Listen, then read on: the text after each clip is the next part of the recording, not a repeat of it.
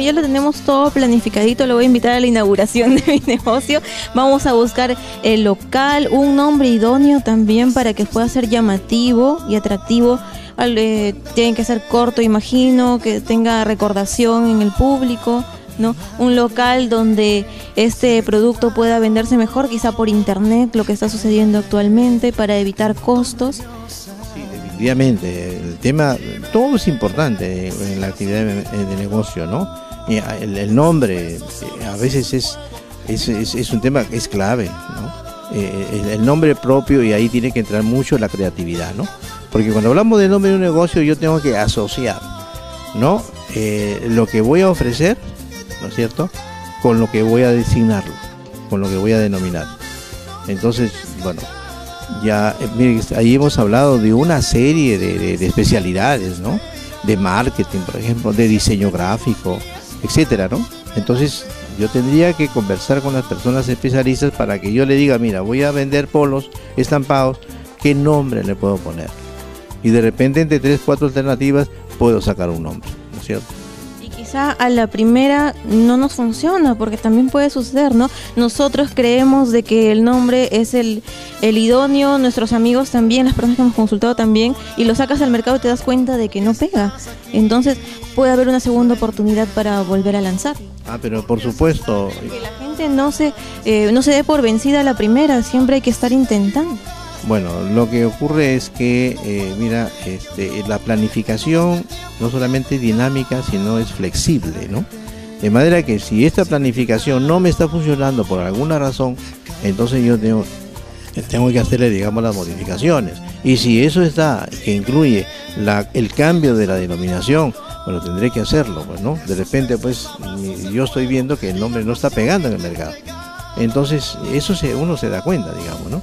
Quienes deseen tener la asesoría profesional con la ayuda de la Cámara de Comercio de la Libertad, ¿cómo pueden ubicarlos? ¿Cómo pueden acceder a ustedes?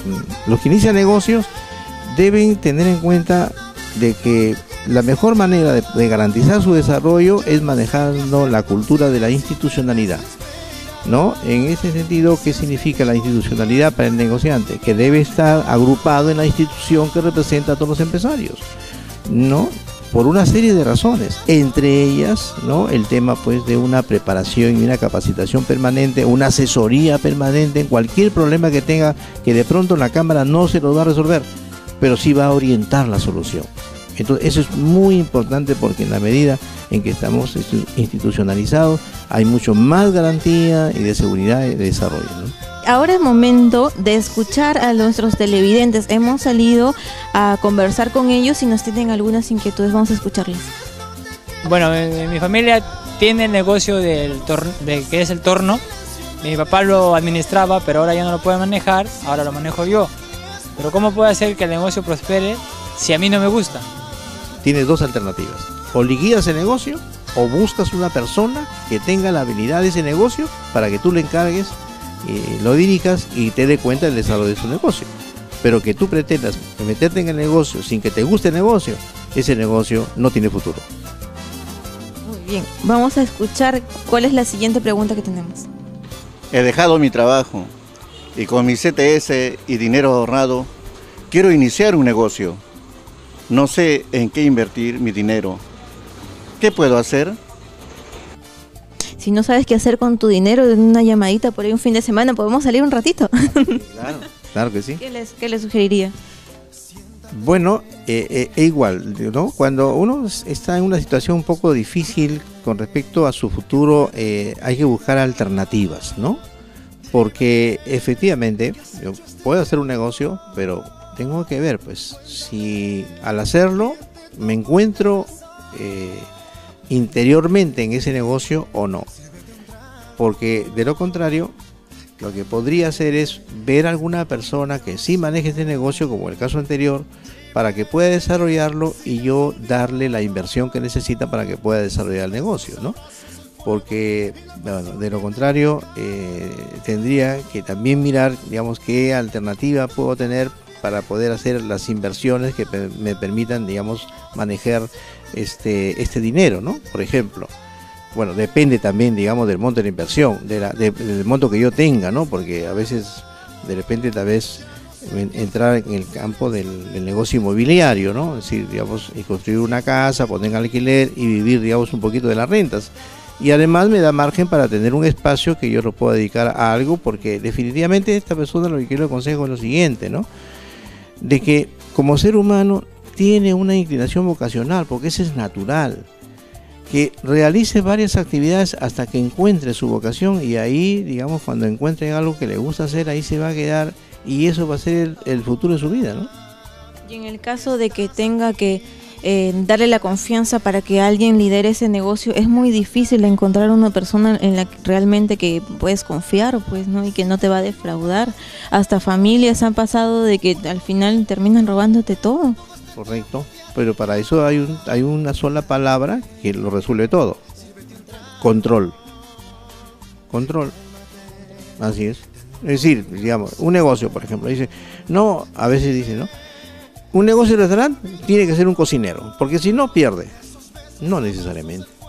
Porque si yo le digo al cocinero, ¿cuál es tu fórmula para un cabrito, para un ceviche? Yo sé qué cantidad, digamos, de ingredientes tiene un plato de ceviche y un plato de cabrito y sobre la base de lo que yo le doy para que cocine, él me va a dar cuenta. Pero si yo no hago esos controles, ah, pues ni modo, no hay forma, digamos, de, ¿no? Claro, ahí sí hay riesgo, ¿no? Vamos a ver la siguiente consulta. Mis padres tienen un negocio de zapatos, pero es informal. Yo quisiera formalizarlo, pero quisiera saber cuáles son los beneficios que trae hacer este trámite. Muy bien, muy buena pregunta. Mira, la informalidad no es buena ni para el informal ni para el país. Eh, para informar, ah, para el informal, porque no es buena, porque nunca va a poder tener una seguridad de desarrollo empresarial y toda la vida va a estar, digamos, con este inconveniente. Y ahora hay que ver un poquito el tema de la informalidad, porque no sabemos en qué momento un gobernante inteligente pueda diseñar un plan estratégico para poder castigar severamente a los informales y entonces ahí ya el tema es mucho más riesgoso. De manera que además el tema de la formalidad es un tema de planeamiento. O sea, yo sé que tengo que cumplir con mis impuestos, con mis obligaciones, pero yo tengo que mirar un poco cómo proyecto en mi planeamiento mis rentabilidades y si de pronto puedo, yo soy informal y gano 50. Y si soy formal, voy a ganar 30. Sí, pero tengo la posibilidad de desarrollo.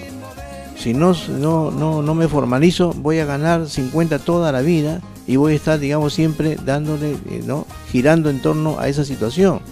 De manera que hay que pensar con mucha inteligencia. Por supuesto, siempre está el tema pues de los controles para desarrollar y la seguridad, porque el tema del formal es bueno, pues yo tengo una garantía de un profesional que me esté cumpliendo todas las obligaciones legales, laborales y tributarias que yo tenga que tener, entonces con eso puedo seguir desarrollando mi negocio, ¿no?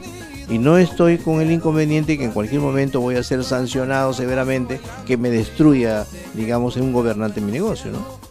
La formalidad nos da tranquilidad personal, tranquilidad para el negocio y también nos ayuda a pensar seguridad de desarrollo a largo plazo para que nuestro negocio sea sostenible y no tenga ningún inconveniente legal, pues que no permita el éxito.